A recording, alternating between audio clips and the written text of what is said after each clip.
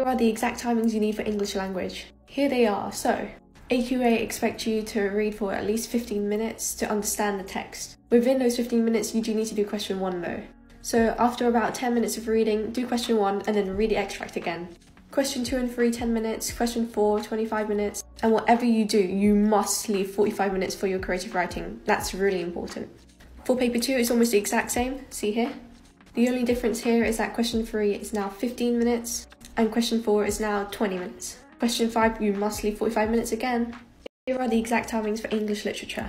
For each text, whether it's Shakespeare, modern drama, poetry, but not unseen poetry, you should spend 15 minutes on each one. Personally, within that 15 minutes, I try to do 15 to 20 minutes planning and then the rest writing. Planning is really important, don't underestimate it. Now for unseen poetry, you spend 55 minutes on this. You should spend 35 minutes for question 1 and 20 minutes for question 2. Within those 35 minutes, I personally would spend 10 to 15 minutes planning, then 20 to 25 minutes writing. For question 2, you should try and do 5 minutes planning, 15 minutes writing, but if you can't, 10 minutes planning, 10 minutes writing is alright. How to sit GCSE Maths. So, each paper is the same, 1 hour and 30 minutes. Disclaimer, this is what I did. If it doesn't work for you, uh, try something else. Within that hour, 30 minutes, I spent around 45 minutes to 1 hour answering all questions. Depending how long it takes you to answer all of those questions, you can spend around 30 to 45 minutes double checking your answers.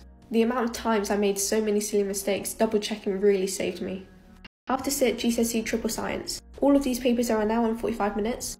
Within that time, I would spend between 45 minutes and one hour answering all questions. And then once you've done that, go through all the pages again and make sure you've answered, actually answered all the questions. And spend the remaining time double checking.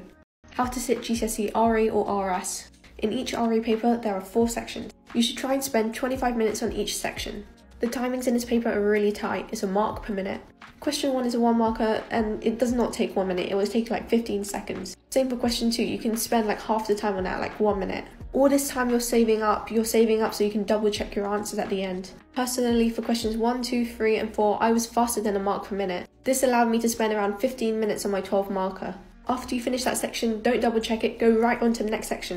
When you finish the whole paper, you should have some time at the end to double check. Double check all of your answers. How to sit GCSE Geography. So, Physical Geography Paper 1 and Human Geography Paper 2 are both an hour and 30 minutes. You sit three sections in each paper, therefore, you should be spending 30 minutes on each section.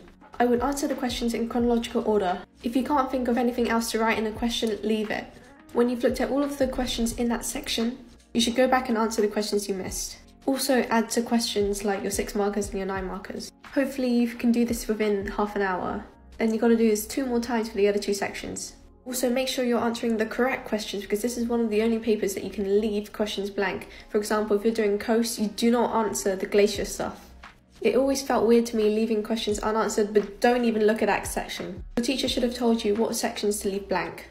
How to sit GCSE Computer Science. Both of these papers are an hour and 30 minutes. To be honest, the paper is quite short, so you should spend around 30 to 45 minutes on questions. Once answered all of these questions, make sure you've actually answered every single question by flipping the pages to make sure you haven't missed any out. Then spend the remaining time double checking, triple checking, quadruple checking.